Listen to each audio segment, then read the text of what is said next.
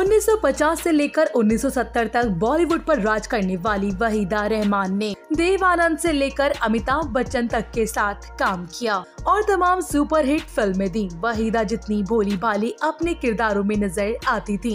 Real life में भी वो कुछ ऐसी ही थी। वहीदा अपनी फ़िल्मों के लिए ड्रेस का चयन खुद करती थी। आपको बता दें कि वहीदा रहमान और देवानंद ने भी एक साथ कई फ़िल्मों में काम किया है। लेकिन 1960 में आई फ़िल्म काला बाज़ार की शूटिंग के दौरान वहीदा को कुछ ऐसा करना पड़ा था जिसके बारे में सोचकर उन्हें आज भी अफसोस होता है। आप सभी जानते हैं कि देवानंद एक सीरियस फ़िल्म मेकर थे, यानी कि वो फ़िल्म को चलाने के लिए किसी फिल्मी लटको झटको का इस्तेमाल करना बिल्कुल भी पसंद नहीं करते थे। लेकिन जब ऐसी सिचुएशन आ जाती थी तो वो किसी तरह का समझौता करना नहीं पसंद करते थे। यही वजह है कि एक बार उन्होंने फ़िल्म की डिमांड के मुताबिक वहीदा रहमान को कैमरे के सामने साड़ी उतारने पर मजबूर कर दिया। इस बात को लेकर वहीदा रहमान और देवानंद के बीच काफ़ी ज़्यादा बहस भी हो गई थी। लेकिन मजबूरन वहीदा रहमान को देवानंद की बात माननी पड़ी। दरअसल फ़िल्म काला बाज़ार में वहीदा रहमान देवानंद की प्रेमिका के रोल में थी।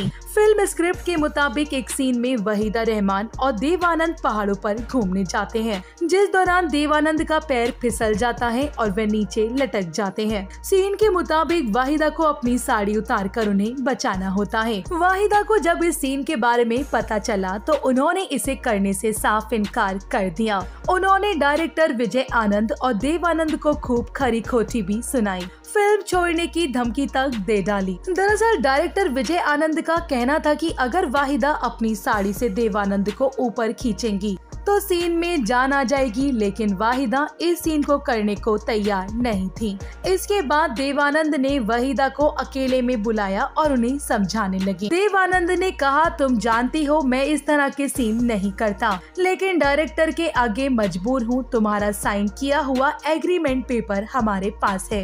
अगर तुम नहीं करोगी तो हमें कानून का सहारा लेना पड़ेगा। इसके बाद वाहिदा सीन करने के लिए राज़ी हो गई लेकिन उनकी शर्त थी कि शूट करते समय वहाँ सिर्फ़ देवानंद और वो रहें और कोई और नहीं। बता दें कि वहीदा रहमान ने अपने पूरे फिल्मी करियर में पहली बार ऐसा सीन किया, जिसका अफसोस उन्हें आज भी है। वेल, आपको क्या लगता है, देवानंद को कोर्ट की धमकी देकर वाहिदा रहमान से ऐसा सीन करवाना सही था या गलत? आप अपनी राय हमें कमेंट बॉक्स में कमेंट करके ज़रूर बताएँ। साथ ही हिंदी सिनेमा जगत से जुड़ी ऐसी और दिलचस्प बातों को जानने के लिए आप हमारे चैनल को सब्सक्राइब करना ना भूलें।